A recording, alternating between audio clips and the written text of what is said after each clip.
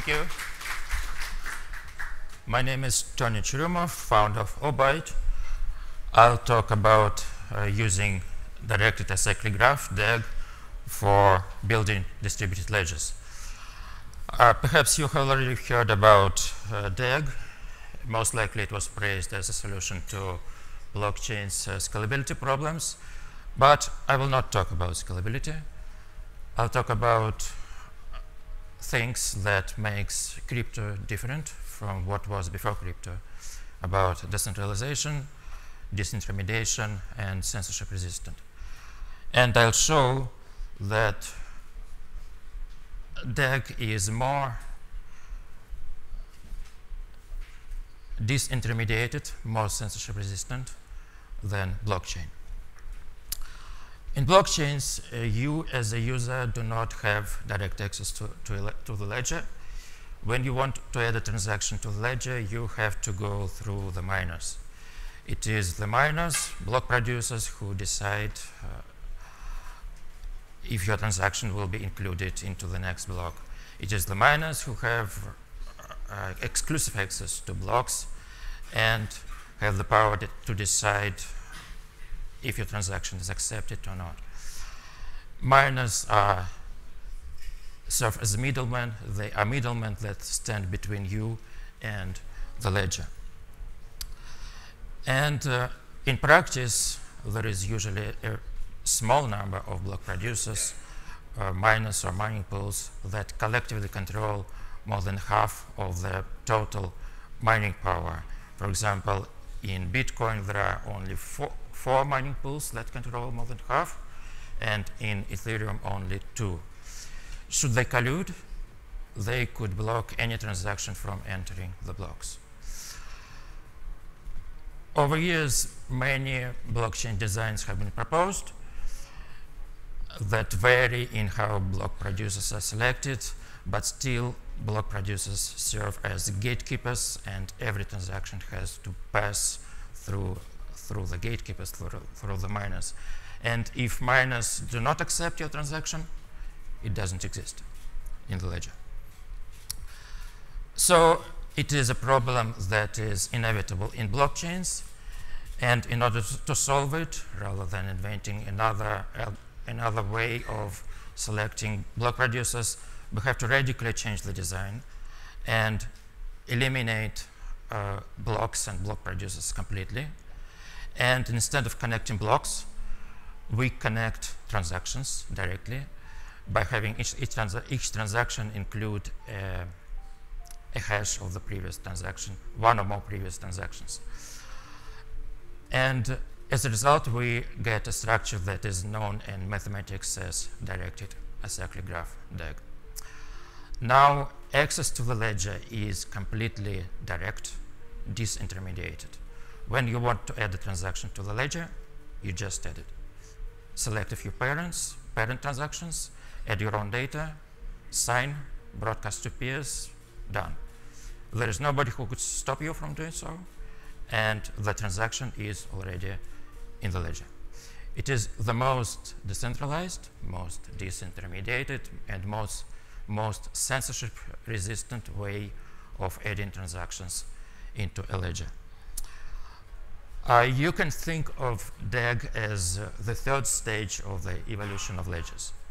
First, there were centralized ledgers, where there was only a single gatekeeper.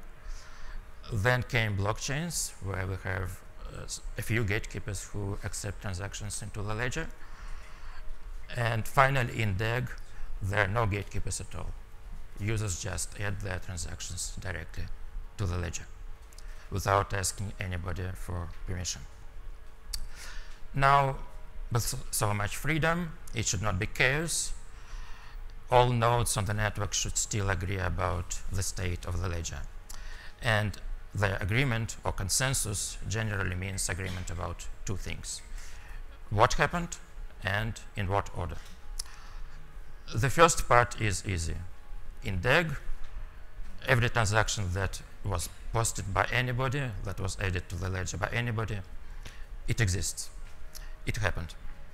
It can reach different nodes at different moments in time, but still it will reach all nodes, and all nodes will eventually know that this transaction did happen. If it were a blockchain, block producers would decide what happened.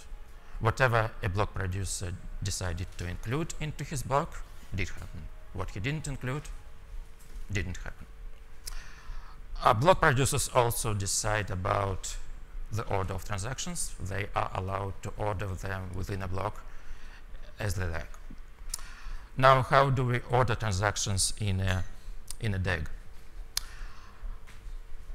Uh, since, just because it is a DAG, there is already a lot of order. Every transaction references, references one or more parents. Parents, in turn, reference their own parents. And if we can reach one transaction from the other by following parent-child links, we already know the order between those two transactions. Uh, the order between transactions doesn't directly follow from the structure, from the shape of the DAG, if, if the two transactions lie on, on parallel branches of the DAG. And in order to, reserve, uh, to resolve this ambiguity, we rely on so-called order providers. We also call them witnesses. Uh, order providers are regu just regular users who are supposed to post their transactions frequently enough and strictly in order. That means that their previous transaction is reachable from their next transaction through parent-child links. And we, we have to trust them to follow this rule, to, to, to never break it.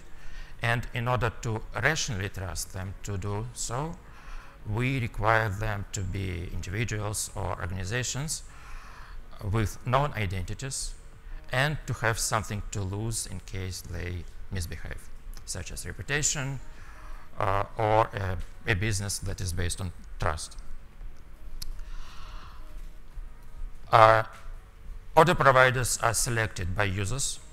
Every user just indicates the list of uh, order providers he trusts in every transaction that he posts. And uh, uh, the, the, list includes uh, 12 positions. Uh, it is the number 12 is small enough so that users can realistically know all 12 and the number is large enough so that the system survives random failures of a minority of uh, order providers. Um, and the list of order providers can vary bit from user to user, from transaction to transaction, but uh, they should differ by no more than one position for neighboring transactions. Now that we have order providers, we can highlight their positions on the DAG and order all other transactions around the order created by order providers. It is possible to create such an algorithm. However, the order is not established immediately. We have to wait for some time until enough order provider transactions are posted on the DAG uh, in order to be certain about the order of the past transactions. And since the order is determined solely based on the positions of the order provider transactions on the DAG, and all nodes will eventually receive all transactions. Uh, we know that all nodes will receive all transactions, including order provider transactions, and will arrive at the same order of events. So now we agree about, have an agreement about what happened. Every transactions that transaction that was posted, it did happen and we have an agreement about the order of events. It either uh, follows from the shape of the DAG or is determined by looking at the uh, order provider transactions. Uh, this is the type of consensus we have in Obyte. And although the admission of transactions into the ledger is totally decentralized, uh, order provision in Obyte is currently still centralized since uh, 10 out of 12 order providers are still controlled by the founder, that is me, and only two are independent. And we are looking for candidates willing to serve uh, as order providers and help us uh, decentralize order provision. And I'm happy to say that uh, the University of Nicosia is currently setting up the order provider node and will be a, a candidate for order provider. Uh, now, how do we resolve double spends? We agree that uh, if there are two transactions trying to spend the same coin, the same output, the one that came earlier on the consensus order